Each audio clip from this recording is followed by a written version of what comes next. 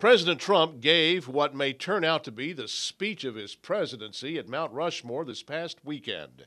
It was a full throated defense of America's founders, its history, and its promotion of liberty, prosperity, and peace. And it was also a clear statement as to the choice we'll be making on November 3rd. The speech was filled with money quotes, too many to share here, so let's focus on just one.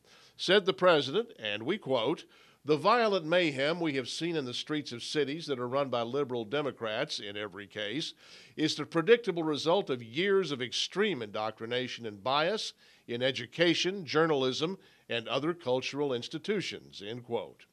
As if on cue, events validated every word of that statement over the weekend.